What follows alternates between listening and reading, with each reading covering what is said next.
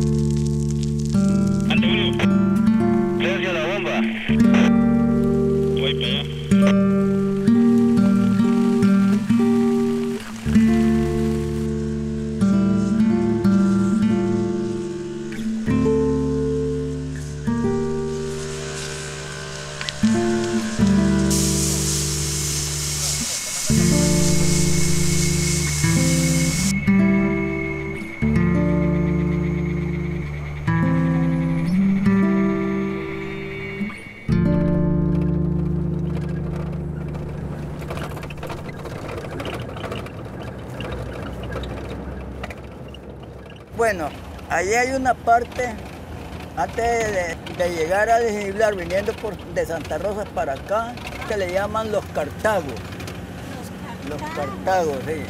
Así le llamaban, ¿verdad? Sí, sí, sí, sí, Después de los Cartagos, coge hacia mano derecha y agarra uno y le que le llamaban el Giblar. Aquí le llamaban las calaveras, todo esto. Todo esto aquí. Más para allá le llamaban las tablas. Todo esto tenía nombre antes.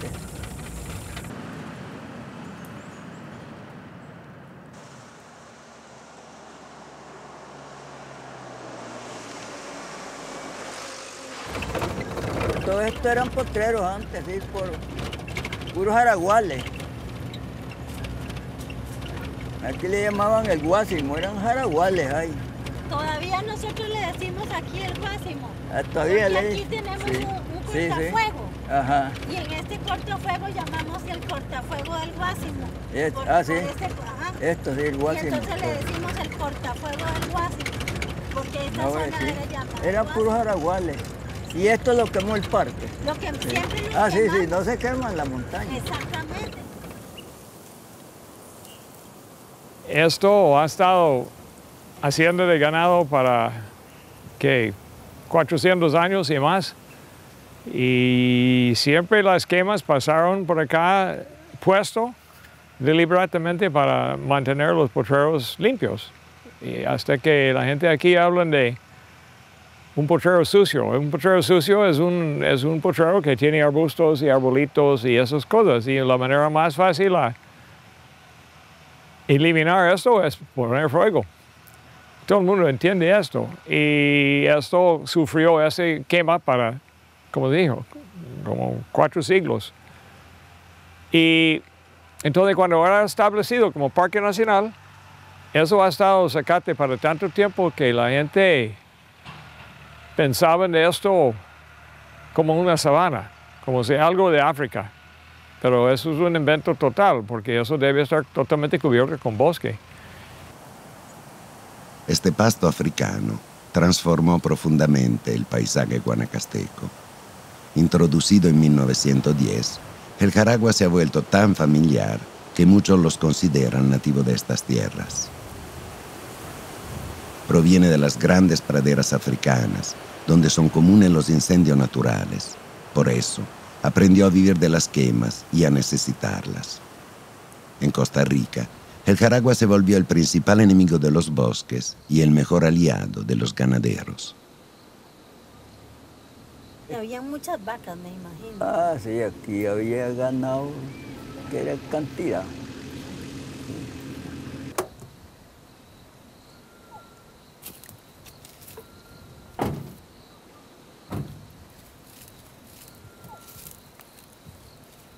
En el verano el mismo patrón le daba a uno los fósforos para que en las pasadas donde, había llano, de pasto, este, pegara juego, porque eso le servía al ganado, porque ya en marzo y abril está retoñado, y entonces el, el el ganado tenía algo que comer, ¿verdad? Tenía retoñito tierno, ¿ves? Porque así como está ese pasto ahí, el ganado no lo come, él busca siempre El retoño. el retoño. ¿ves?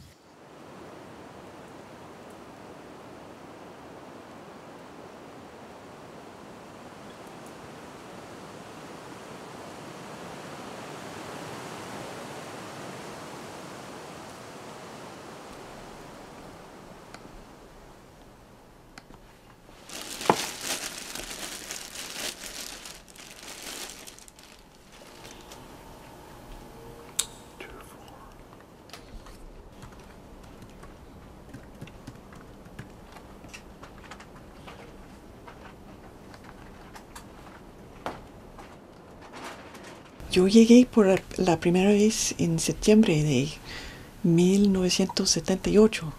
No vi nada de trabajo con ganado. Lo ganado, eh, el ganado ha estado extinguido el año antes de que yo llegué. Eh, pero todavía quedó el eh, jaragua, el pasto para ellos. Y sin el ganado, el, el jaragua estaba creciendo a una altura tan alta eh, y por no ser comido hasta bajito, eh, el pasto estaba eh, una amenaza al bosque, porque si alguien metió un fuego y había viento para llevarlo, había tanto combustible en este pasto para entrar el bosque y, y ir comiéndolo poco a poco. Y esto en 85 es una de las razones para que mi, mi esposo y yo empezamos a poner más enfoque en la conservación, porque nosotros vimos que se estaba perdiendo el bosque de Santa Rosa poco a poco por estos fuegos.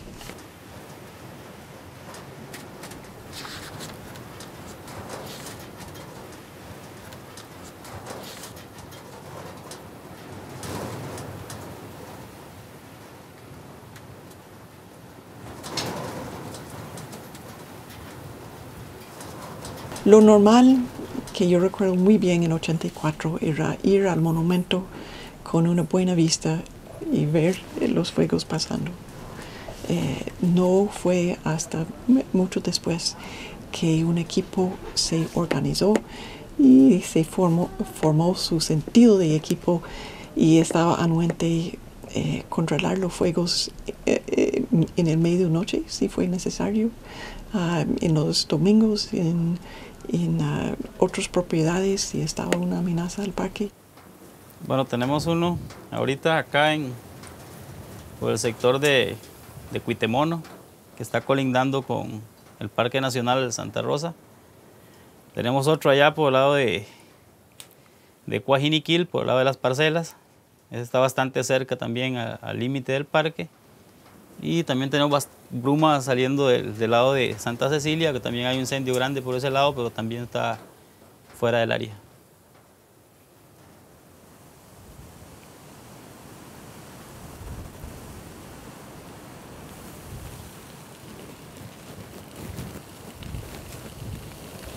Voy a pegar a la esquina.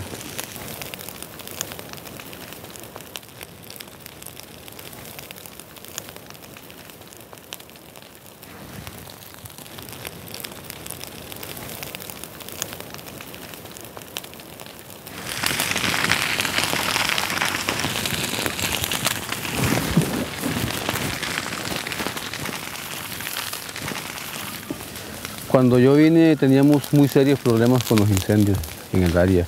Todos los años estaba quemando prácticamente todo. A partir de 1986 decidimos que si nosotros queríamos tener un bosque seco, regenerado, teníamos que quitar su principal enemigo, los incendios forestales. Y formamos un equipo de bomberos forestales con gente de Guanacaste, que todo el tiempo nuestra cultura ha estado metida en incendios. La idea era parar los incendios, pero no solamente viniendo acá con un machete, con una rama, con una escoba a apagar fuego, también era cambiar la mentalidad de la gente, irle a decir a ellos, mire, usen el fuego, pero úsenlo racionalmente, úsenlo con estas medidas, hagan rondas cuando quieran quemar, no quemen un día de viento y a la vez irlos permeando también en no usar el fuego, porque el fuego poco a poco va empobreciendo las tierras, porque el fuego contamina el aire, porque el fuego reduce los bosques.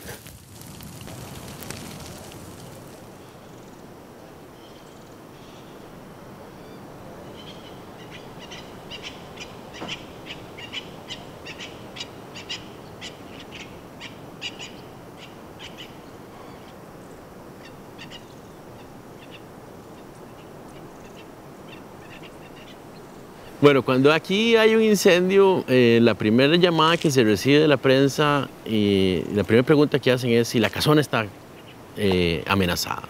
Y nosotros siempre, pues la primera reacción es, eh, mire, la casona está bien, el incendio está muy largo, pero lo más importante aquí es que se están quemando hectáreas de bosque seco en diferentes estadios de, de restauración y un esfuerzo grande que se ha hecho se está perdiendo muy pocos llegan a, llevarse ese mensaje, porque es repetitivo. Cada, año, cada verano, la pregunta vuelve. Inclusive han habido incendios muy lejos de Santa Rosa y la gente siempre pregunta por la casona de Santa Rosa y no la primera pregunta que debería ser ¿cuánta área se ha quemado? ¿Qué barbaridad? ¿Encontraron al culpable?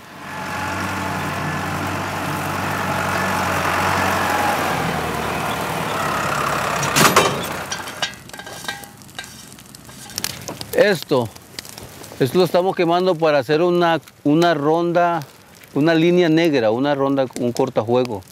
Estamos utilizando el juego para abrir una brecha que va a detener un posible incendio que venga de acá, que es donde está la, la, mayor parte del viento y donde está la mayor actividad humana dentro del parque, porque la mayoría, el 90% de los incendios son intencionales y son dentro del parque.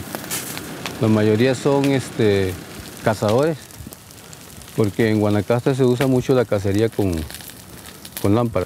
Entonces, si tienen un campo abierto, el venado, que es la especie que más cazan, va a venir y ellos en la noche entran con sus armas de fuego y, ejercen la cacería. A veces también pegan para pastorear ilegalmente ganado posteriormente, para renovar los pastos. También hacen esto para, para venganza o simplemente por este piromanía.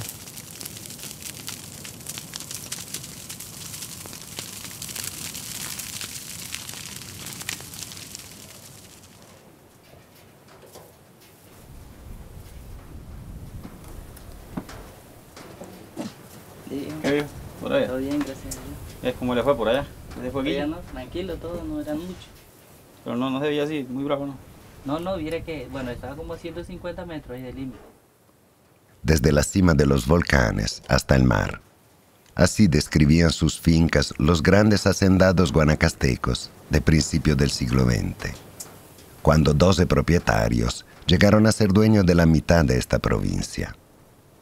Hoy, solo el área de conservación Guanacaste posee dimensiones tan extensas, 140.000 hectáreas que van desde el lado caribeño de los volcanes hasta las profundidades del Pacífico. Una extensión tan vasta que protegerla de los incendios absorbe gran parte de los esfuerzos del área durante el verano.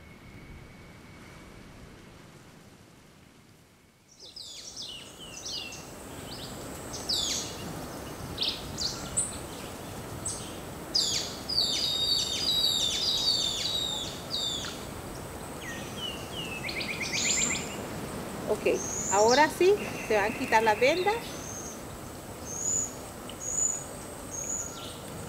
¿Quién quiere empezar? ¿Qué fue lo que escucharon? Yo escuché unos pajaritos como Ajá, escuché pajaritos.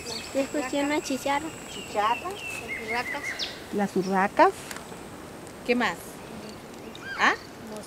Mosquitos. Y si nosotros nos quedamos un rato más prolongado, podemos escuchar más sonidos. Podemos este, oír más sonidos y sonidos que nosotros no los conocemos de otras aves. Porque aquí en esta gran casa, que es un gran ecosistema, habitan un montón de organismos.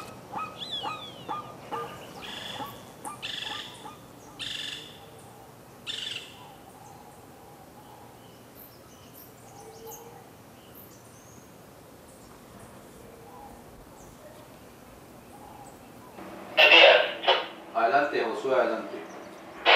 Don Julio, para darle información sobre el fuego que veníamos a verificar aquí por el sector del hacha. Adelante, pase.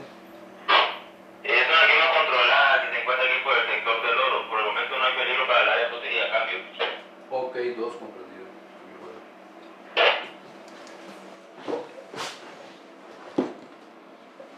Esto es Centroamérica en abril. Costa Rica tuvo un, pues, digamos, si usted ve, Costa Rica es bastante bajo.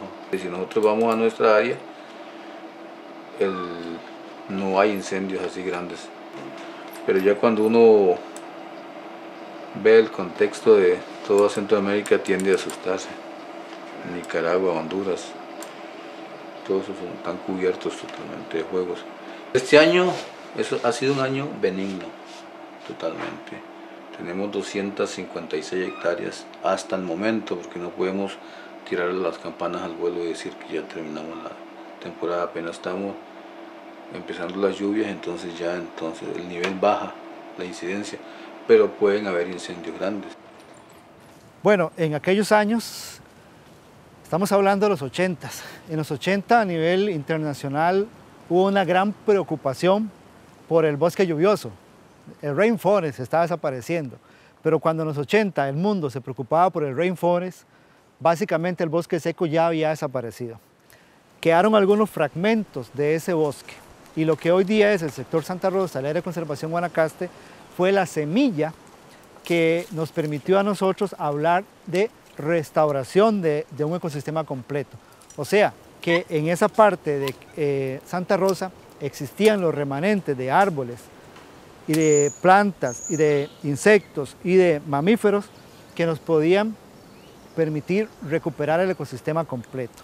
En ese año, en el 86, las grandes organizaciones que apoyaban la conservación en el mundo eh, no creyeron en la idea, porque hasta ese momento, en el 86, se donaban fondos para adquirir bosque en pie, o sea, bosque maduro, bosque virgen, bosque bonito. Y aquí aparecimos nosotros diciendo en el 86 que queríamos convertir lo que había sido por 300 años una hacienda ganadera, la queríamos convertir en un ecosistema de bosque seco. Entonces tardamos un año en convencer a diferentes donantes y conservacionistas de que para nuestra realidad, si nosotros dejábamos el área en paz, si nosotros eliminábamos el fuego y controlábamos la cacería, ese ecosistema podía recuperarse.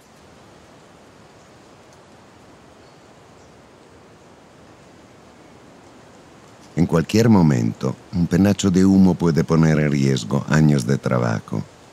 En cualquier momento, un descuido, un inocente fuego casero para quemar hojas secas o basura puede incendiar el cielo y arrasar con cientos de hectáreas de bosque.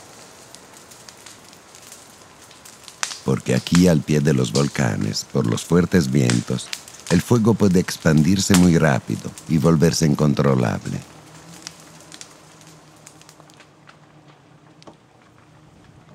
A pesar de los esfuerzos de las brigadas contra incendios, cada año se queman entre 2.000 y 3.000 hectáreas tan solo en el área de conservación Guanacaste. Se trata de antiguos potreros donde la vegetación original no se ha recuperado lo suficiente para eliminar el jaragua y donde los pinos introducidos se encienden como antorchas.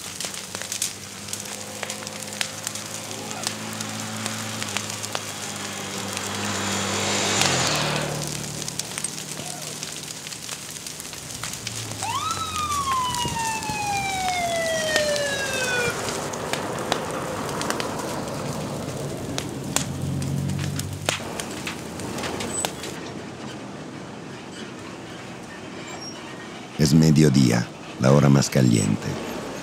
Todos ruegan para que una nube oculte el sol y descienda la temperatura. Todos luchan para que el fuego no cruce el camino, la única barrera a lo largo de varios kilómetros que puede contenerlo. López, López, López. Que acá, atrás están perdiendo unos coyotes, cambio.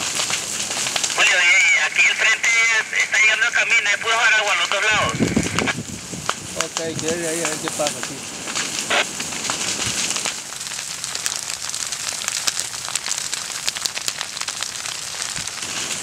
¿Qué, ¿Cómo empezó, Julio? Una finca vecina se pusieron a quemar parece. Y ellos no hicieron ronda, había mucho viento. Entonces, lógicamente, lo primero que entró fue al parque.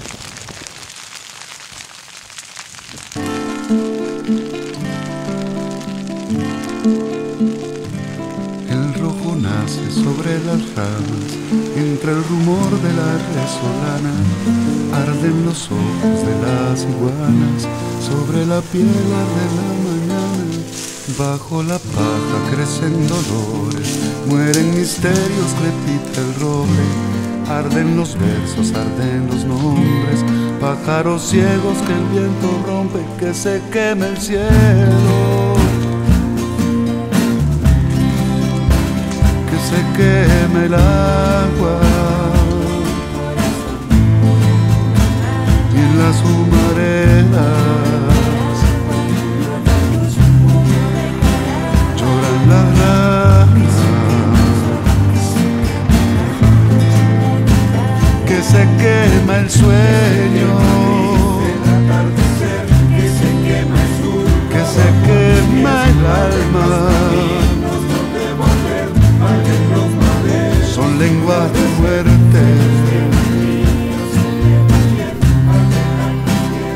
날 잡으라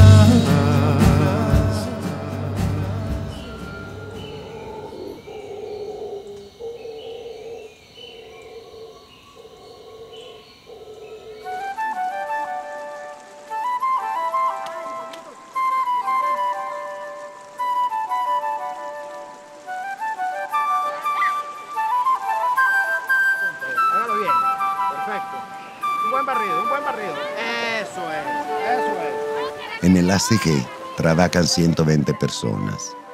120 personas para proteger 140 mil hectáreas de parque. Pero la lucha por preservar esta gran casa no se limita a los extinguidores y las escobas. Uno de los mayores aciertos del área ha sido convertir el parque en una escuela vivencial. Aquí, investigadores de todo el mundo exploran sus secretos y mil niños cada año vuelven a aprender los sonidos del bosque que sus padres han olvidado. De la biología de lo que ocurre cuando se paran los fuegos, hay una característica muy interesante, es que la gran mayoría de los árboles que llegan primero son las que son dispersadas por viento. Y ellos no necesitan un animal para llegar, es solo el viento, pero sí necesitan parientes. Tienen que estar adultos en la vecindad. En ese caso, fueron adultos allá como 100 metros más o menos que estaban tirando semillas al viento y el viento estaba llevando a ese lado de la carretera. Y um, esas son las semillas que entran primero, los colonizadores. Después, cuando hay más árboles y más sombra, los aves, los murciélagos, las guatusas, todo empiezan entrando, dejando sus semillas también. Y gradualmente la flora regresa al sitio. Pero ya es un proceso que siga y siga y siga. Y gradualmente, después de ahí, 200 años, ese sitio va a tener la, la flora que tenía hace cuatro siglos.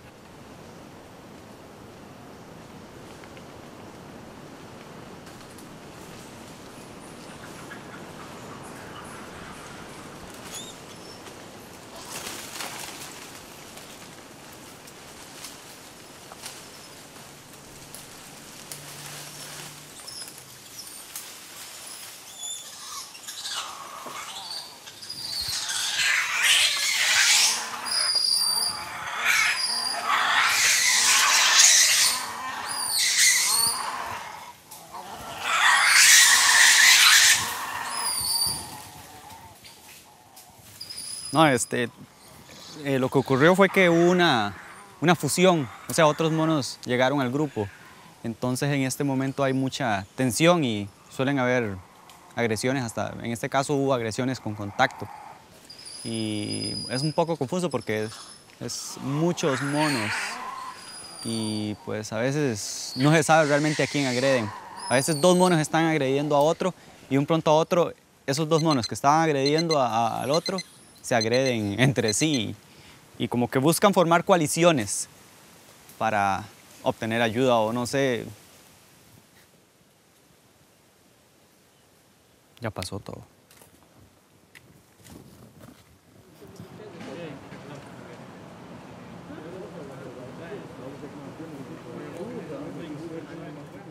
Cuando hablamos de, de bosque seco, eh, uno tiene que imaginarse un bosque de 35 metros de alto, con una alta diversidad de, especies de árboles, árboles que pueden llegar a diámetros de, un metro, metro y medio, guapinoles, por ejemplo, eh, eh, nísperos.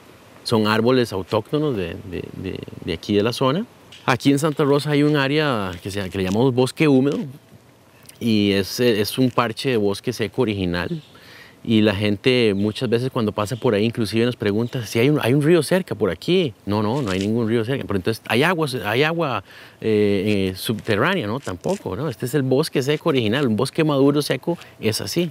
Si usted va en ese bosque aquí abajo de 200 metros y escoge un árbol de ese diámetro, eh, hablando de un árbol que tiene 300 años o más. Y entonces, para ese árbol a entrar, crecer grande, tener nietos, estamos hablando de mucho tiempo. No producen, un guapinol en el bosque no produce el primer fruto hasta que tiene como 70 años de edad. Desde la cuesta que usted me decía.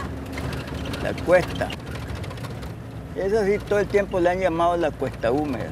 Desde que yo conocí así le llamaban. Qué, qué bien que le hemos conservado el, el nombre, porque a este sector, todo ese sector, nosotros le llamamos bosque húmedo. Qué montaña más espesa, ¿verdad? ¿No ve cómo se oscurece todo?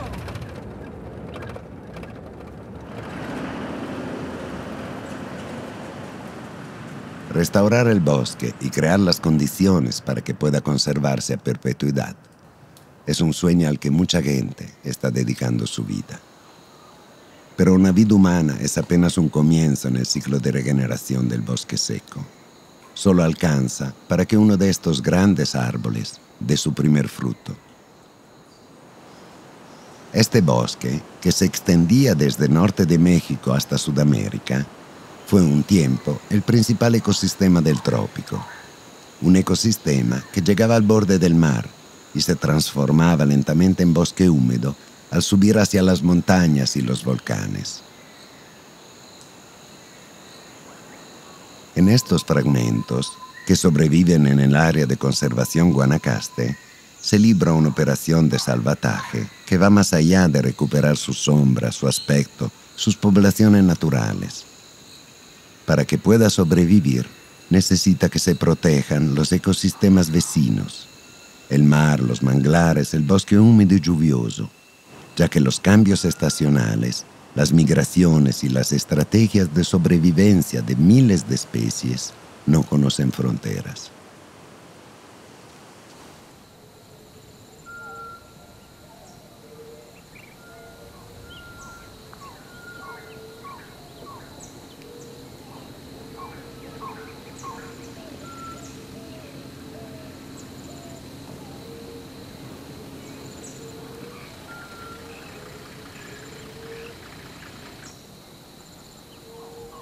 Todo eso pertenece a- al parque ahora, a Santa Rosa, ¿verdad?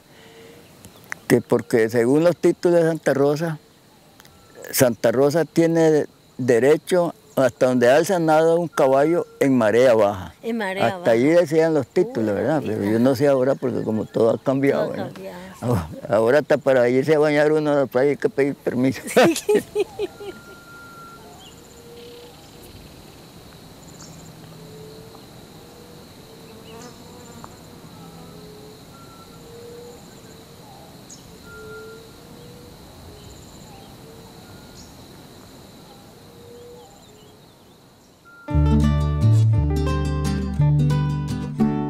Qué vida la del cuzuco, charanguero y trovador, huyendo del cazador y del soncho cañambuco.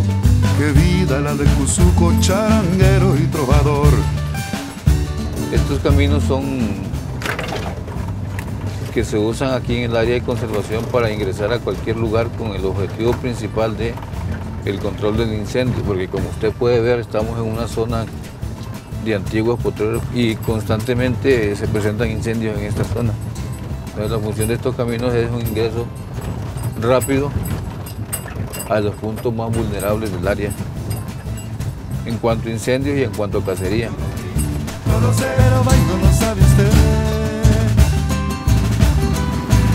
Esperanza, esperancita, india del viejo solar.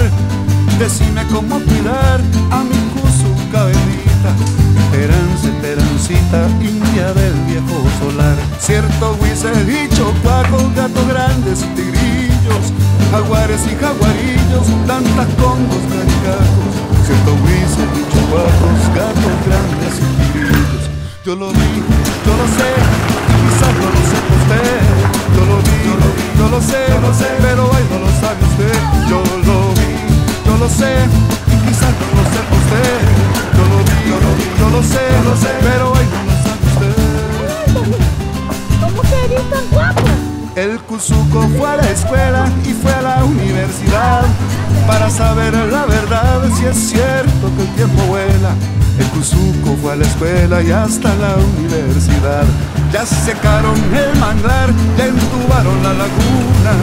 Mañana compran la luna y se reparten el mar. Secaron el manglar, ya entubaron la laguna. Yo lo vi, yo lo sé, y quizás no lo sepa usted. Yo lo vi, yo lo sé, pero ay, no lo sabe usted.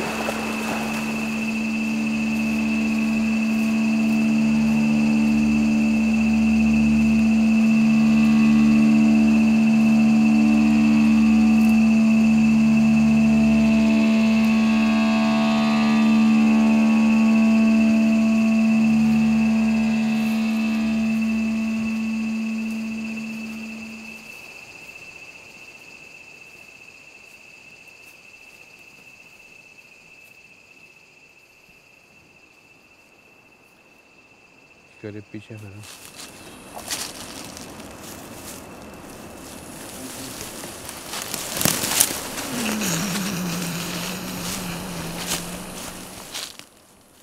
Es una escopeta, ¿no? Sí, claro, tiene que haber sido como una 20, una 12. Tiene que haberlo agarrado del largo. Sí. Porque están muy separados los, los huequillos.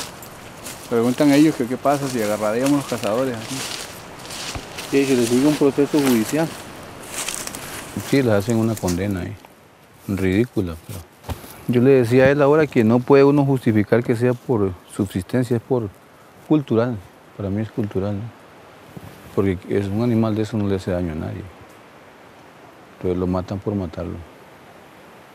Para ellos supuestamente es un peligro, ¿no? Entonces lo quitan.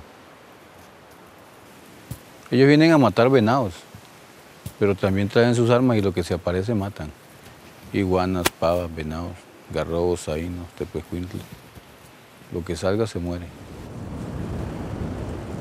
¿Cómo se dice bosque? Forest. ¿Cómo se, cómo se dice? ¿Cómo se dice pájaro? Bird. ¿Cómo se dice jaguar? Jaguar. Jaguar. How are you? How are you? How are you? ¿Cómo se dice bosque seco? Bosque seco. Dry. Dry. Dry forest. Excelente, Melissa. Dry forest. Es mayo, llegan las primeras lluvias. La emergencia del fuego se apaga y el bosque sale de su letargo.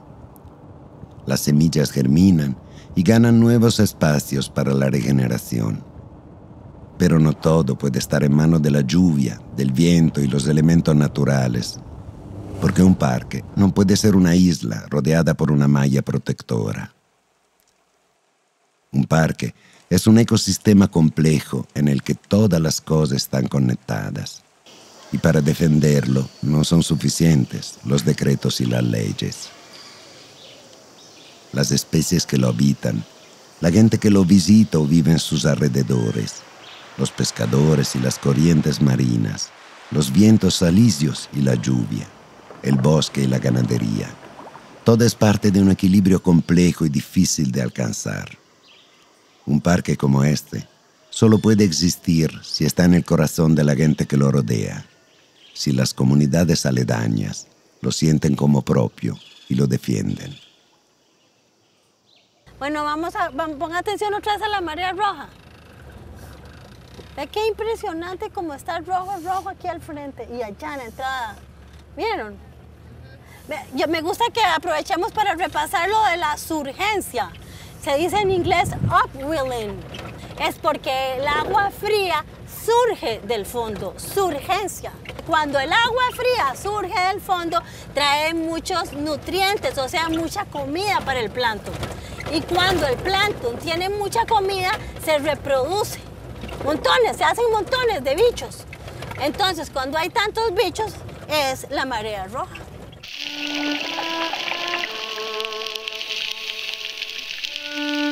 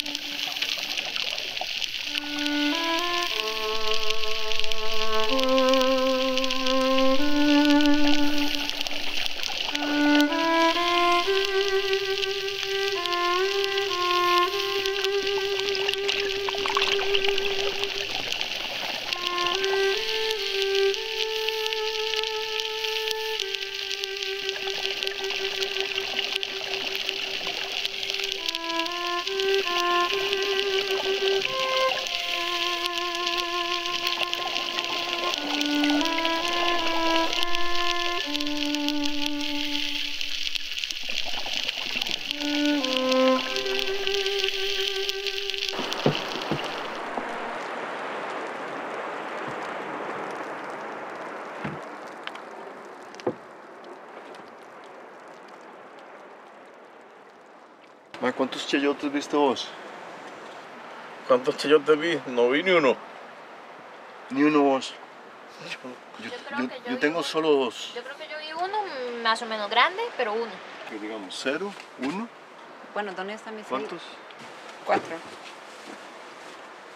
¿Cuatro? Sí. So, but in any case, it's less, less than 10.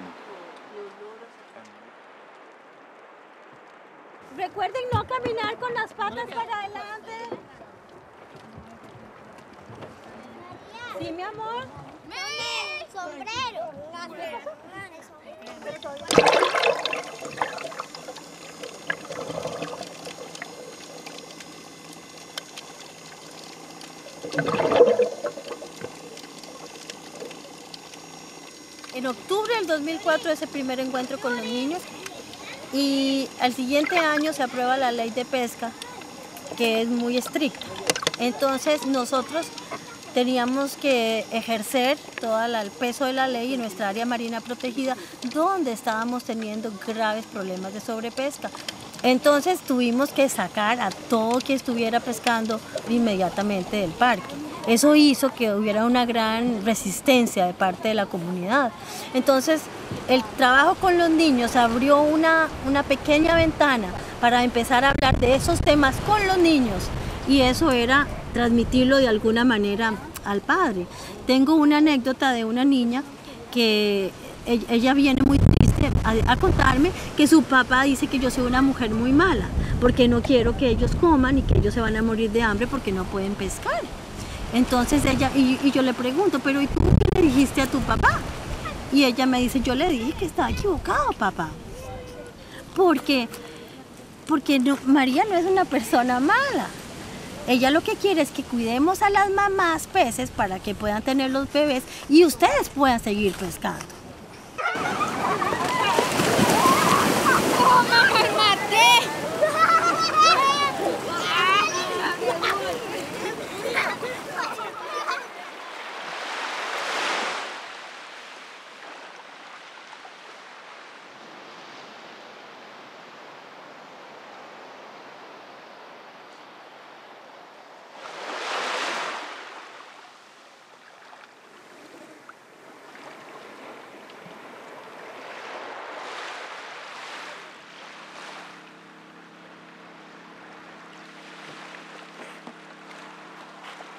Nuestra última visita fue en octubre del año pasado. Y mira, los corales eran tan exuberantes que se salían del agua literalmente. Estaban creciendo tan cerca de la superficie que las mareas los exponían. Y hoy lo que estamos encontrando es que el 99.9% de la cobertura viva de coral desapareció. Lo que sobrevivió ha sido eh, las especies muy resistentes y son tal vez unas cinco o seis lo que quedaron. Pero hemos estado buceando en, en- en cementerios completos de coral. Los colaboradores de nosotros decían que el coral podía estar bueno, recuperándose porque lo veían verde. Pero el verde era porque las algas estaban, estaban empezando a crecer en los esqueletos.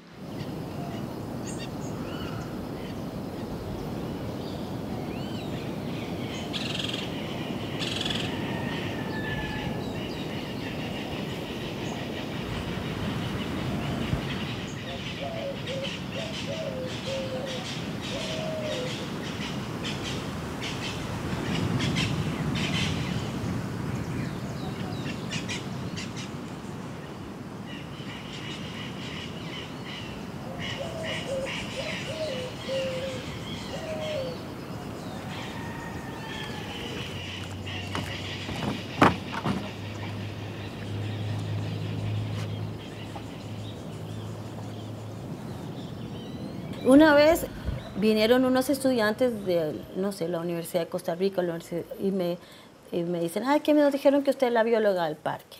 Queremos saber cuál es el problema más grande que ustedes tienen. Entonces uno empieza, bueno, que la indiferencia de la población, que los fuegos, que la carretera interamericana partiendo el parque en dos, y empieza uno con una lista de cosas.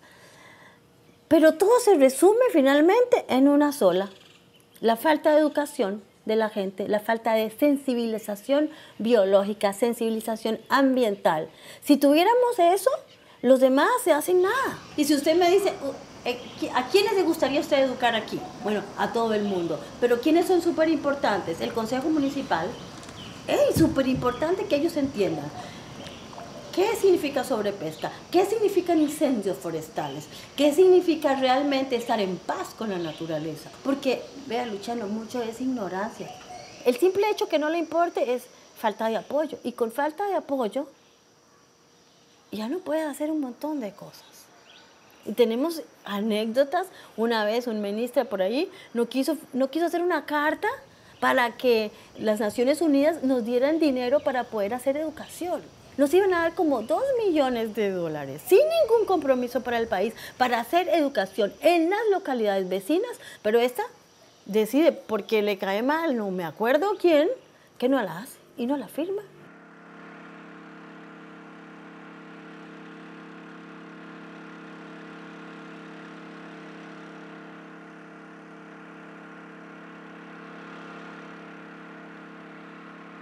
El mar, toda esta bahía estuvo roja durante, durante varios días por semana. Y lo tenemos así desde el año pasado. Eso no es natural. Nosotros estudiamos los corales de esta zona de Guanacaste desde 1991. Y en, desde 1991 hasta el año 2005, nosotros habíamos visto apenas cinco, eh, seis mareas rojas. Ahora, desde 2005 al 2009 tenemos las mareas rojas mensualmente. ¿Y qué son las mareas rojas? Las mareas rojas son microorganismos planctónicos que necesitan abono, alimento, comida de alguna parte para ellas reproducirse, tienen una explosión demográfica y producen una toxina, producen ese color. El asunto es de dónde viene ese alimento, ese abono para esos organismos. Entonces, donde tenés zonas de desarrollo costero o desarrollo urbano que afecta las cuencas de los ríos y los desechos, los nutrimentos van directamente al agua, donde tenés eh, zonas de agricultura expansiva y extensiva, es toda esa eh, materia orgánica es la que está llegando al agua y abona a esos organismos. Entonces eso nos enseña lo que se llama conectividad, que todo es una autopista en el agua. Lo que se haga río arriba, como se dice, va a afectar lo que río abajo. Y las islas Murciélago están río abajo.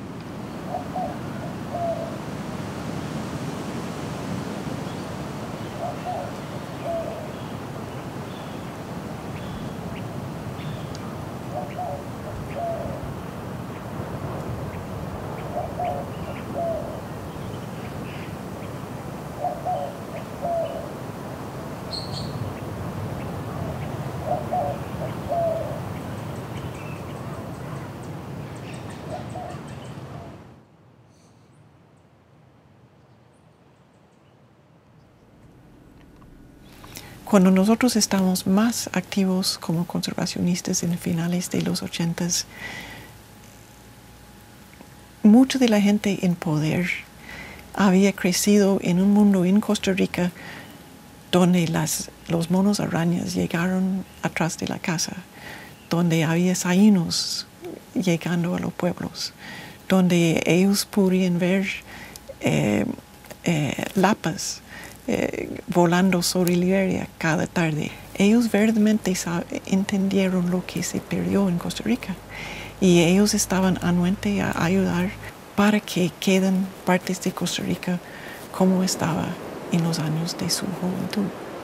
Ahora las personas que tienen 30 años, 40 años y están en, muchas posiciones ya en Costa Rica de, tomar decisiones, no han vivido esto. Ellos han estado niños en fincas que tienen bosques regenerados y la naturaleza que ellos han vivido es una naturaleza bastante alterada no es lo muy especial que sus papás o abuelos conocieron.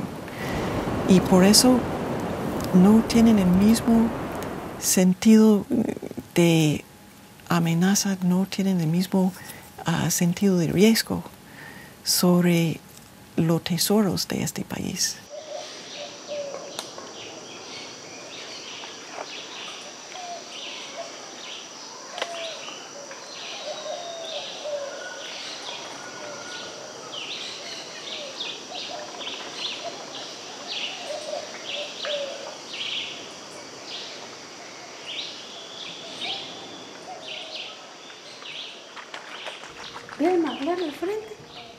Le hicieron un hueco al río porque alguien necesitaba hacerle el hueco para sacar un, barco. Ahí. Y le hacen un hueco y el producto es ese que se está muriendo el manglar. ¿Y qué hemos hecho las instituciones hace 20 años? Y se muere y se sigue muriendo. Ya se le han muerto como 100 metros. ¿Y qué hemos hecho nosotros? Los responsables de un humedal. Los humedales que por ley, bla, bla, bla, bla. Todo. ¿Qué hemos, hemos reaccionado? Sí sabemos. Yo he hecho varios informes. Un biólogo que había antes que yo hizo cinco informes. Y están ahí en los archivos durmiendo el sueño los justos. Me da vergüenza. Pero ¿qué pasaría si toda la población está consciente que tiene el poder, que lo puede? Vamos y lo hacemos, vamos. Si hubiera educación y la gente, todos los pescadores entendieran el valor de ese manglar, ¿usted no cree que ya lo hubieran arreglado ellos mismos? Hace cuánto tiempo. Entonces sí tiene que ver también con otra vez educación, solidaridad, un montón de valores que los tenemos guardados en algún lugar y ojalá alguien los les abra la puerta.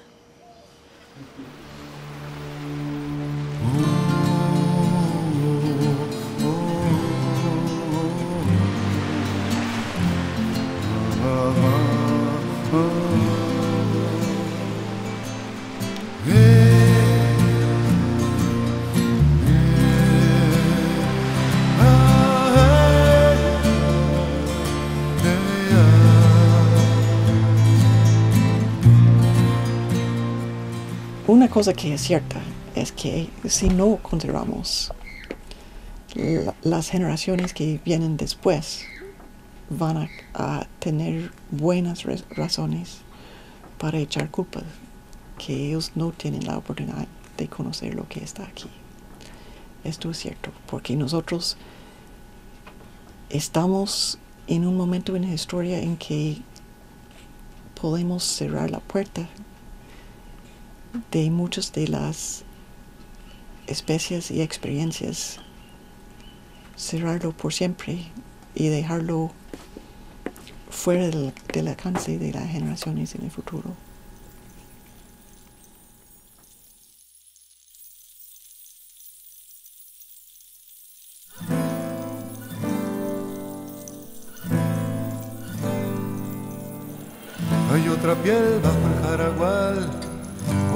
Paisaje que espera, memoria vaya de algún lugar, dormido bajo la tierra, aguas lejanas, huellas de mar, raíces viejas, simientes, Tras cinco siglos un Guayacán retoña contra la muerte.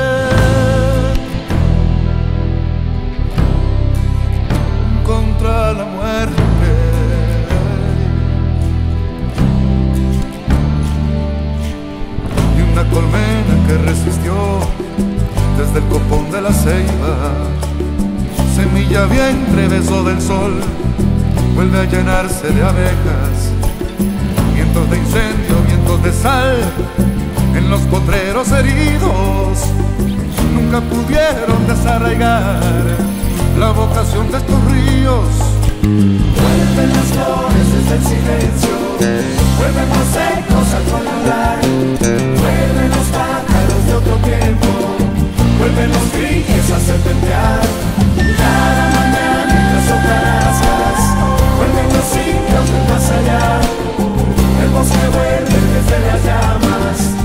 siento tontos en el.